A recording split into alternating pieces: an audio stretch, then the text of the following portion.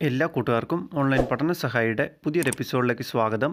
ഇന്ന് നമ്മൾ ചെയ്യുന്നത് ഫോർത്ത് സ്റ്റാൻഡേർഡ് മാത്സ് വർക്ക്ഷീറ്റാണ് വീഡിയോയിലേക്ക് നോക്കാം. കൂട്ടുകാരെല്ലാവരും ഇന്നത്തെ വിക്ടേഴ്സിന്റെ ക്ലാസ് ഉണ്ടാണമല്ലോ ഇന്ന് ക്ലാസ്സിൽ സാർ പഠിപ്പിച്ച കാര്യങ്ങളുമായി ബന്ധപ്പെട്ട് നമുക്ക് നൽകിയ ആക്ടിവിറ്റീസ് എന്തൊക്കെയാണ്?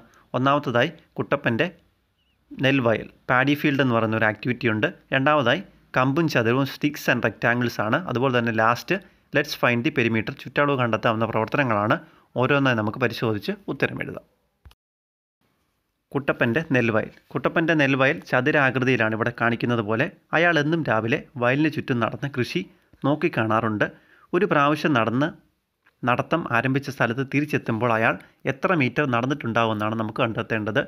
ചതുരാകൃതിയിലുള്ളൊരു വയലാണ്.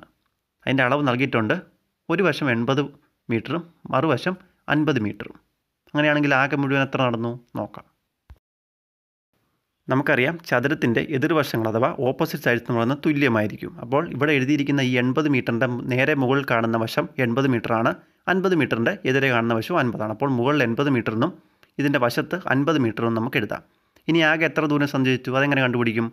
അതിന് ഈ നാല് വശങ്ങൾ എൺപത് മീറ്റർ അൻപത് മീറ്റർ എൺപത് മീറ്റർ അൻപത് മീറ്റർ എന്നിവ നാല് പ്രാവശ്യം എഴുതി കൂട്ടണം ആ വയലിന് ചുറ്റും നടന്നു എന്ന് പറയുമ്പോൾ ഇത്രയുമാണ് നടന്നത്. എൺപത് അൻപത് എൺപത് അൻപത് കൂട്ടുമ്പോൾ കിട്ടുന്ന ഇരുന്നൂറ്റി അറുപത് മീറ്ററാണ് ആകെ ആ നെൽവയലിന് ചുറ്റും ഒരു ദിവസം നടക്കുന്നത്.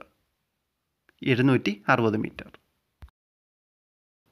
Paddy field Kuttappan has a rectangular paddy field. Each day he walks around the field in inspects it. How many metres does he walk in one trip?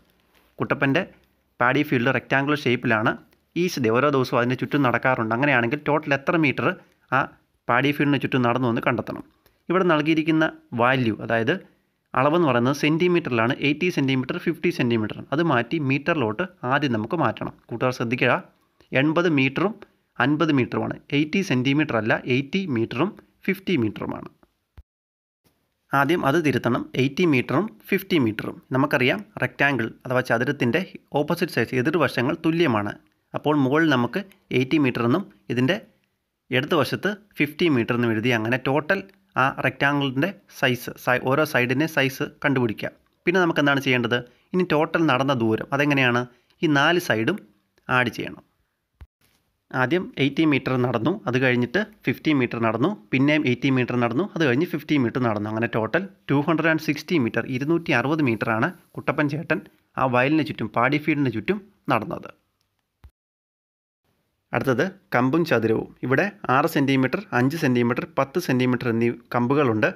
ഈ കമ്പുകെട്ടുകൾ വെച്ച് ചതുരമുണ്ടാക്കുകയാണ് കുട്ടികൾ. അവരുണ്ടാക്കിയ ഒരു ചതുരം പരിശോധിക്കുക.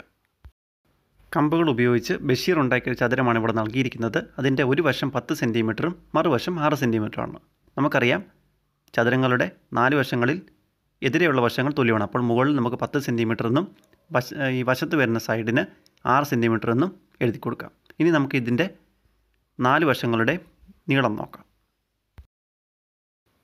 പത്ത് അധികം ആറ് അധികം പത്ത് അധികം ആറ് ചെയ്യുമ്പോൾ കിട്ടുന്ന ഉത്തരമായി മുപ്പത്തിരണ്ടാണ് ഈ നാല് വശങ്ങളുടെ നീളമെന്ന് പറയുന്നത്. ബഷീർ ഉണ്ടാക്കിയ ചതുരങ്ങളിലെ നാല് കമ്പുകളുടെ ആകെ നീളം മുപ്പത്തിരണ്ട് സെന്റിമീറ്ററാണ് താഴത്തെ കളത്തിലോട്ട് മുപ്പത്തിരണ്ട് എന്നെഴുതി പ്രവർത്തനം ചെയ്യുക.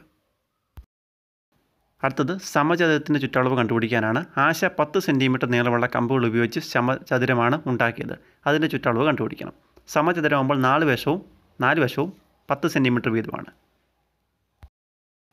അതുപോലെ തന്നെ ഈ സമചതുരത്തിന്റെ ചുറ്റളവ് കണ്ടുപിടിക്കുന്നതിന് ഒരു വശത്തിന്റെ നീളത്തെ നാല് കൊണ്ട് ഗുണിച്ചാലും സാധിക്കും. രണ്ടും നമുക്ക് എഴുതി നോക്കാം. നമ്മൾ സാധാരണ ചെയ്യുന്നതാണ് ആദ്യം എഴുതിയിരിക്കുന്നത് പത്ത് അധികം പത്ത് അധികം പത്തിനെ നാല് വശം എഴുതി കൂട്ടുമ്പോൾ കിട്ടുന്നത് നാൽപ്പതാണ് അല്ലെങ്കിൽ നമുക്ക് ഒരു വശത്തിന് നാല് കൊണ്ട് ഗുണിക്കാം. അതായത് പത്തേ ഗുണിക്കണം നാല് ചെയ്യുമ്പോൾ കിട്ടുന്നത് നാൽപ്പത് തന്നെയാണ്. അപ്പോൾ ഈ ആശ നിർമ്മിച്ച സമചരത്തിന്റെ ചുറ്റളവെന്ന് പറയുന്നത് നാൽപ്പത് സെന്റിമീറ്ററാണ് സ്റ്റിക്സ് ആൻഡ് റെക്റ്റാങ്കിൾസ് ഇവിടെ കുറച്ച് സ്റ്റുഡൻസ് സിക്സ് സെന്റിമീറ്റർ ഉള്ള സ്റ്റിക്സും ഫൈവ് സെന്റിമീറ്റർ ഉള്ള സ്റ്റിക്സും ടെൻ സെന്റിമീറ്റർ ഉള്ള സ്റ്റിക്സും എടുത്ത് റെക്റ്റാങ്കിൾസ് അഥവാ ചതുരം ഉണ്ടാക്കുകയാണ്.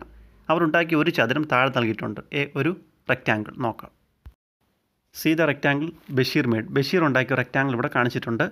രണ്ട് സൈഡിന്റെ അളവ് നൽകിയിട്ടുണ്ട്. എത്രയൊക്കെയാണ്? ടെൻ സെന്റിമീറ്ററും സിക്സ് സെന്റിമീറ്ററും നമുക്കറിയാം ഓപ്പോസിറ്റ് സൈഡ്സ് എതിരെയുള്ള വശങ്ങൾ തുല്യമാണ്. അപ്പോൾ മുകളിലോട്ട് നമുക്ക് ടെൻ സെന്റിമീറ്റർ എഴുതാം.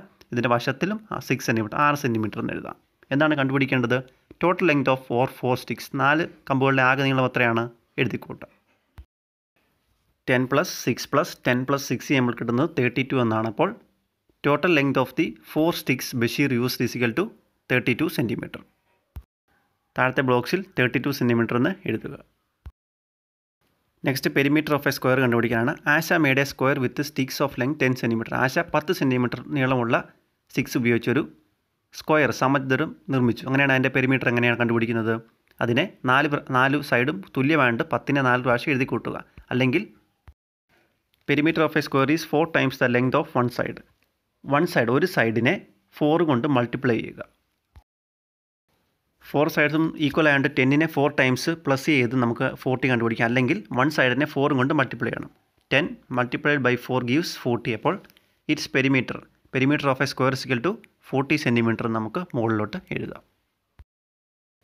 അടുത്തത് ചുറ്റളവ് കണ്ടുപിടിക്കുന്ന ഒരു പ്രവർത്തനമാണ്. നമ്മൾ നേരത്തെ ചെയ്തപോലെ തന്നെ നാല് വശവും എഴുതി കൂട്ടിയിട്ട് അതിന്റെ ഉത്തരം കണ്ടുപിടിക്കണം. ആദ്യം ഒരു സമചതുരമാണ് സ്ക്വയറാണ് മൂന്ന് സെന്റിമീറ്ററിന്റെയാണ് അപ്പോൾ മൂന്നിനെ നാല് പ്രാവശ്യം മൂന്ന് അധികം മൂന്ന് അധികം മൂന്ന് അധികം മൂന്ന് ചെയ്യുമ്പോൾ കിട്ടുന്ന ഉത്തരം എത്രയാണ്? പന്ത്രണ്ട് എന്നാണ് കിട്ടുന്നത്. അപ്പോൾ മൂന്നിനെ നാല് പ്രാവശ്യം ഇതുപോലെ എഴുതി കൂട്ടുക. അതിന്റെ ചുറ്റളവ് എന്ന് പറയുന്നത് പന്ത്രണ്ട് സെന്റിമീറ്ററാണ് താഴോട്ട് എഴുതുക. അടുത്തൊരു ത്രികോണമാണ്. നാല് സെൻ സെന്റിമീറ്റർ സൈഡ് നാല് സെന്റിമീറ്റർ അഞ്ച് സെന്റിമീറ്റർ അപ്പോൾ നാല് അധികം നാല് അധികം അഞ്ച് ചെയ്യുമ്പോൾ കിട്ടുന്നത് പതിമൂന്നാണ് അപ്പോൾ ഉത്തരം പതിമൂന്ന് സെന്റിമീറ്ററാണ് അതിന്റെ ചുറ്റളവ്.